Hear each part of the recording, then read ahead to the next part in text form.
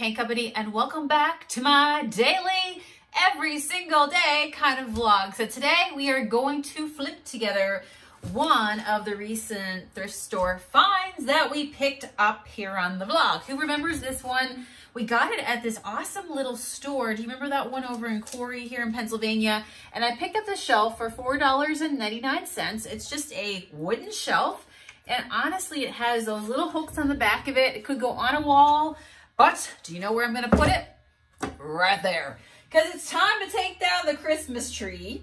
And this is my art space here in my house. And I do like the idea of using this for the corner back there, but we gotta put some fun color on it because I cannot live with this brownie frowny anymore.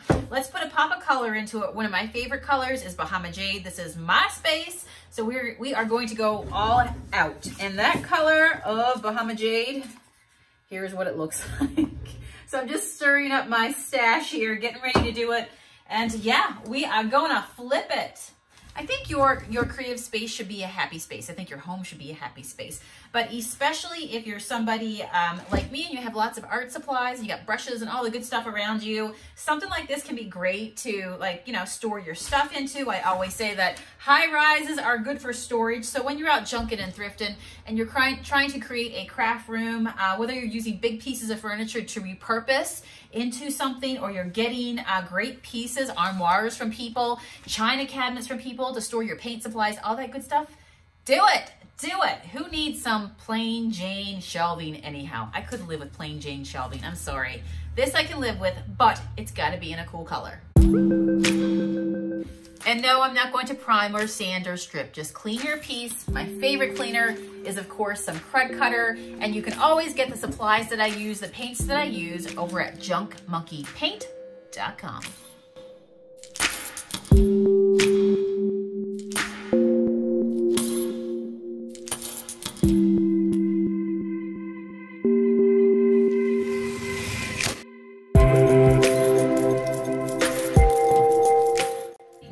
thing to note is that because I'm a shabby distressed lover, I'm just gonna do a quick one coat over this entire thing. I'm going to leave little parts of it showing through. It's gonna, a little bit of the wood is gonna show through and I like that distressed feeling. If you want full coverage, you know what, just go ahead, be more careful when you lay down your paint to cover all the areas and maybe add a second coat as well.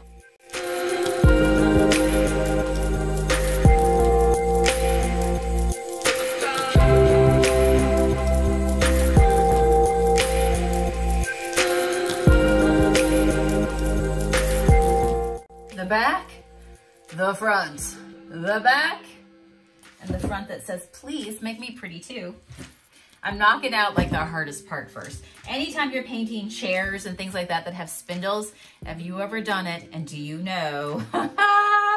you gotta have a lot of patience, right? So we're gonna do the hard parts first and then we can come to the front because this is a nice area flat surface, but it's these little spindles, these little picket fence type things that you just kind of gotta make your brush fit in between. So we're getting there.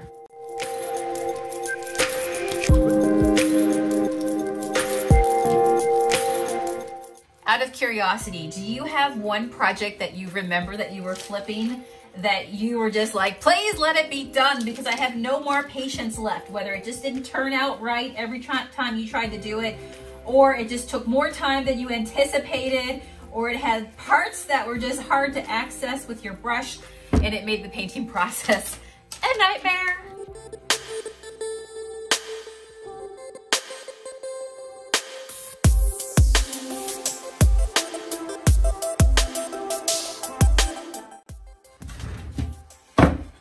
Yay, well we knocked out the, boring, the boring part, part that is going to be against the wall, but we had to get it done. And now we get to focus on the stuff that you actually see, the front part.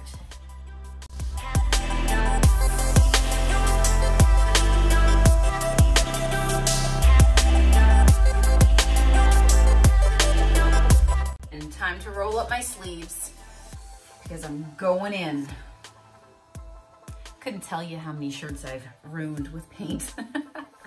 Now I have paint clothes. I just devote it to painting. All right, let's do this part.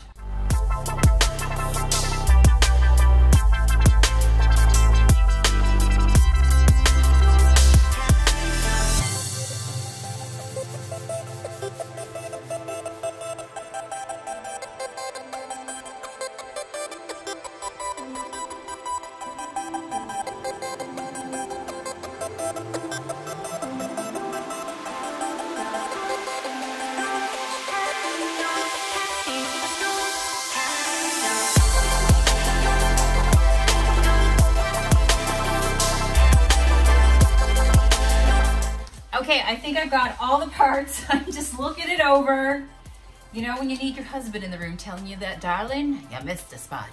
Well, we're dry now, so if I want to, obviously, if I wanted it to be completely full coverage, I could add another layer of paint over that, just making sure that all my brush lines are all connected so they fill in really nice. Or if you want distress, you can just leave it as that. But if you want a little bit more extra distressing, this is when I reach for the sand block, of course, and not the little off the edges, which that is just my personal preferred style, to each their own.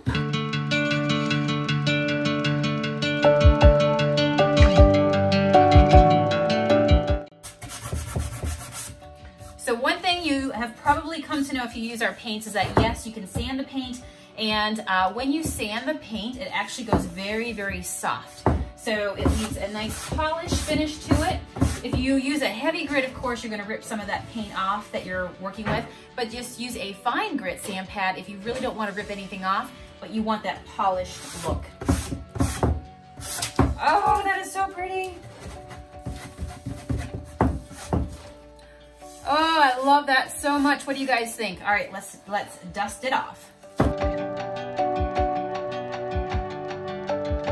Now, to seal or not to seal, that is the question. For me, this is going to be a utility shelf area that I'm gonna about to push back in the corner here, put my art supplies on. We'll see how that looks in just a second. But it's up to me if I wanna seal or not. So this is gonna be a functional piece for me. I'm really not even worried about sealing it, to be totally honest with you, because I'm gonna be painting here and I know there's gonna be paint splashing on top of it, which that just gives it more character in this space here. I kinda like that idea of just leaving it raw and natural like that into my space. And at the end of the day, because I get messages, no, the paint is not going to fall off. It's on there. I had to sand it in order to get it to move. And I only painted it within 30 minutes. So you can see how well it's, it's hanging on. It's not going anywhere. So let's go ahead and put it in place.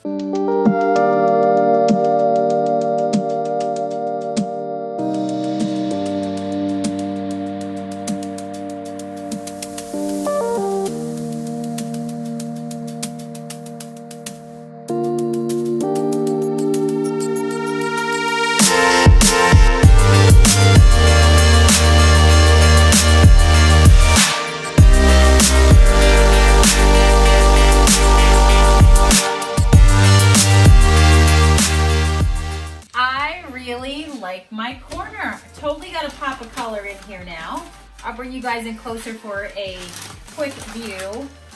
I think it's perfect. I just feel like I have like some of the things that I always reach for, like my wax, my brush, my glue, my palette knives, a couple of my favorite brushes nearby. You can stock yours with anything that you tend to grab for. And if you're somebody out there that does other types of arts or you're into other types of creativity like paper arts or beads or anything like that, know that getting out to the thrift store and bringing home some brownie frowny pieces can add a pop of happy color to your space, but also be quite functional, whatever you got to store in there.